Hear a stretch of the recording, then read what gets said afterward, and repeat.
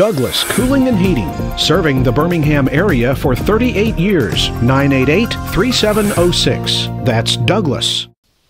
This is the Weather Xtreme video. This is for Wednesday morning, the 11th of January. James Spann here, doing this at a really insane hour. It's like uh, 2 a.m. Uh, up here, uh, babysitting these uh, thunderstorms passing through. So far, they have been under severe limits, but producing some small hail. Let's go right to the water vapor satellite view, and that's the deal. The upper low is traversing the state uh, early this morning. Uh, it's centered near Shreveport, and that was at about midnight. And that will be coming on across the state today, keeping the weather unsettled with a chance of uh, lingering showers. And by golly, there might be some small hail from those showers today because the air aloft is so cold with that thing. And colder air is coming. We'll stay in the 50s today. But the colder air north and west of the state moves in here tomorrow. Highs drop back in the 40s, and by Friday, the high only between 40 and 45.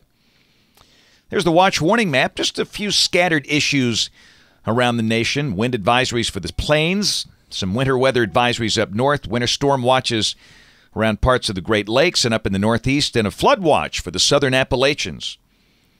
There's the rain for the next five days, and uh, this is suggesting amounts of about one half to one inch, but that counted the rain we had last night early this morning. Additional rain today, probably a quarter inch or less.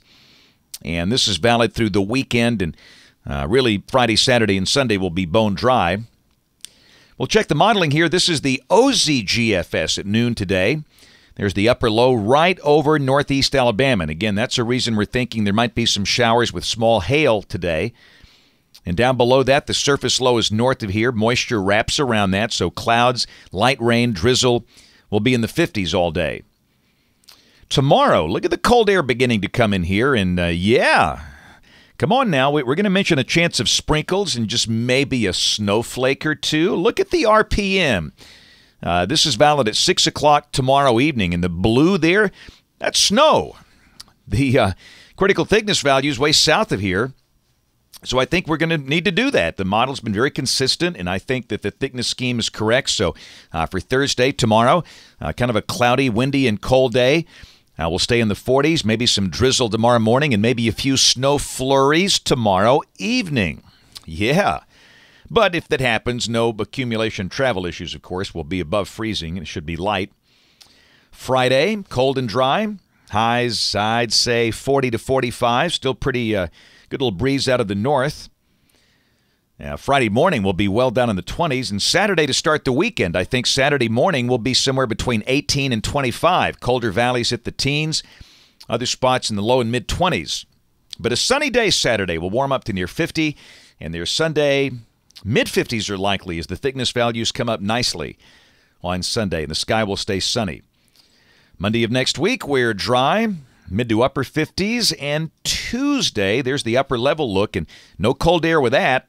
And down below that, Little Impulse produces some light rain Tuesday of next week. The model has actually been very uh, consistent in this idea, and we'll mention a chance of showers Tuesday. And obviously, with an upper air pattern, the front's going to kind of stop somewhere near here, and that suggests we might see some light rain lingering into Wednesday of next week, with a cold air trapped to the north.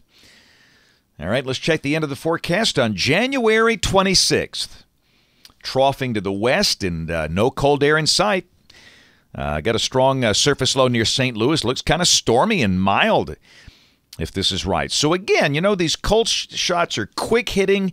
We warm right back up, and until that NAO flips negative, there's just no evidence of any long-lasting cold snap or winter weather issues here for the next couple of weeks.